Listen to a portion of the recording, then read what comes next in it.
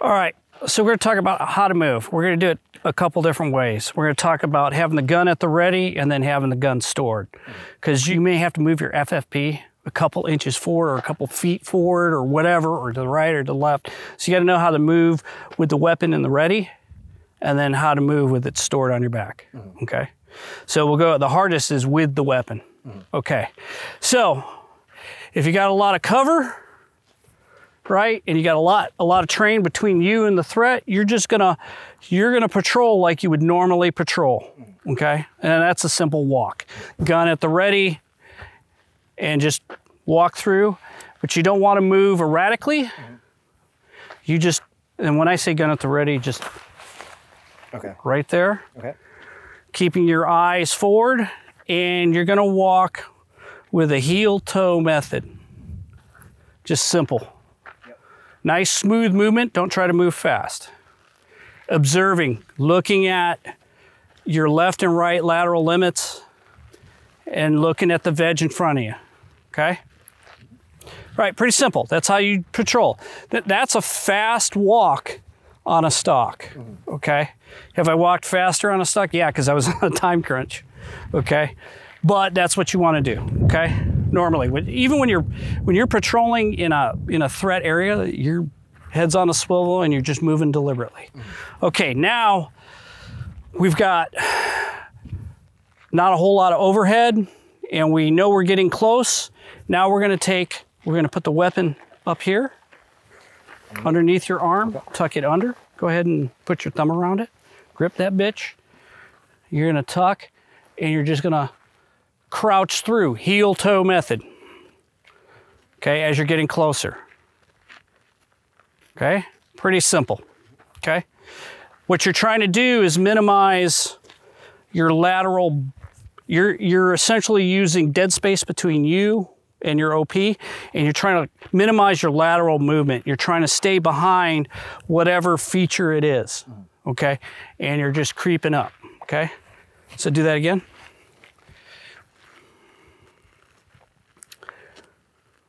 Okay. All right. Go ahead and get on your knees. Okay. Now you're gonna do a crawl, okay? How do we do that with the weapon system? I have no idea. Okay, get on all fours. all fours. If you have, so what you don't wanna do is use your weapon system as a crutch, Okay. Okay?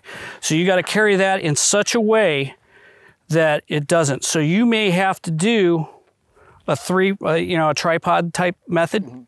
So tuck that under. That's the beauty of the bullpup is that you've got a long barrel and it's a smaller weapon. All the weight's towards the back, so you can cinch it back in. And Literally going to be. This is not going to be on my belly just yet. This- not just yet. This is just a crawl. Okay, it's a high crawl. Crawl. This is what I would think. Just kind of, yeah. You can see. Keep going. I want you to get the full feel of this. Keep going. Keeping your eyes ahead, watching where you put your next foot, your next hand position, everything. Reading your terrain, making sure you're not bleeding out from the sides of your cover.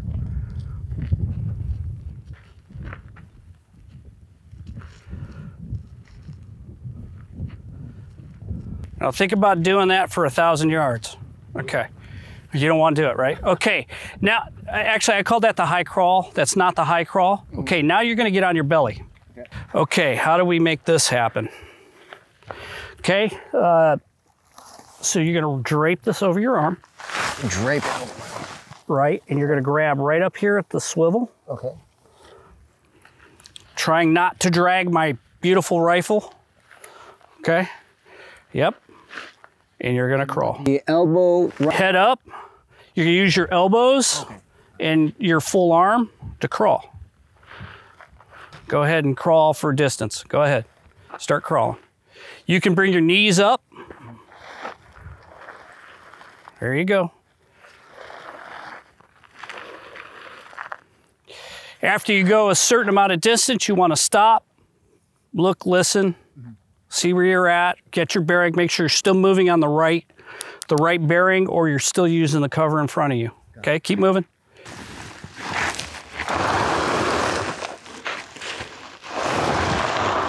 I've seen, while I was teaching at the course, I've seen guys do an entire stalk this way, and they didn't need to do it. All right, keep going.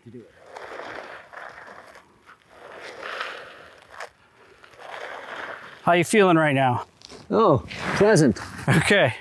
And it's we got good weather right now, so it's not super hot. Okay. Now the low crawl. Okay.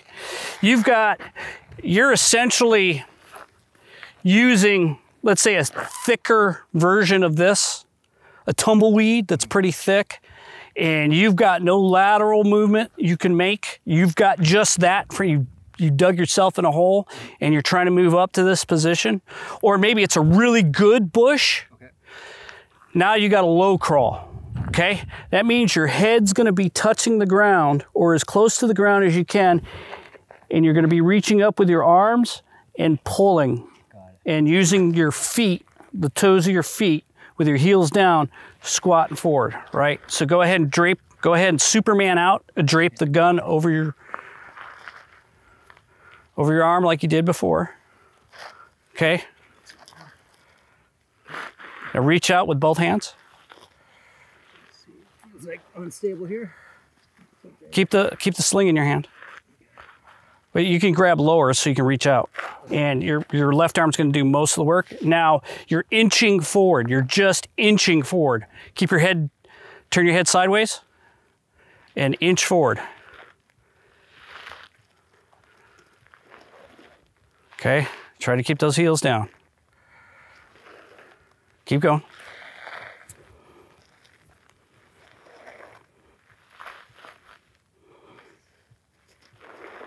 Keep going.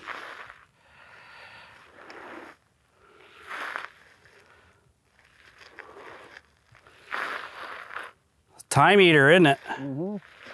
So you don't want to ever have to be in this situation, but you may be in that situation. Okay? And that's exactly that's about the pace you want to go. That I mean, you're sprinting right now. Mm-hmm. Okay? You may have to move slower than that.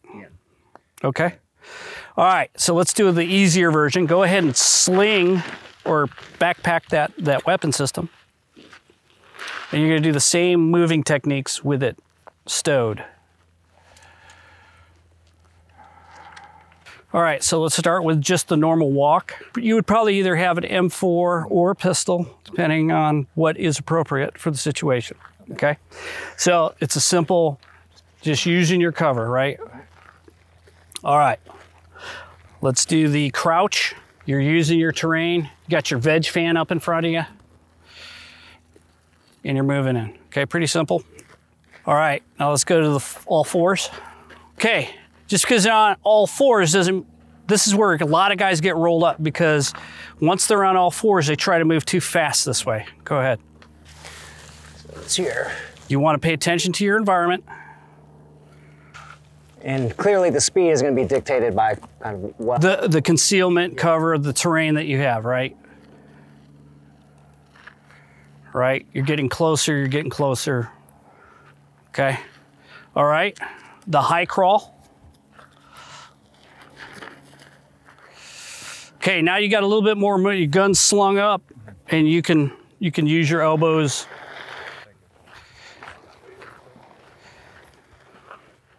Yeah, keep going. I'll make some room. There you go. That's good movement right there.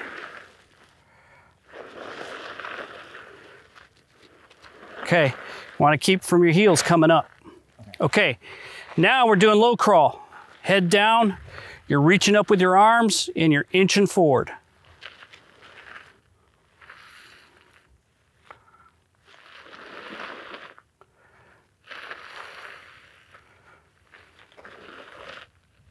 Okay, a little bit further.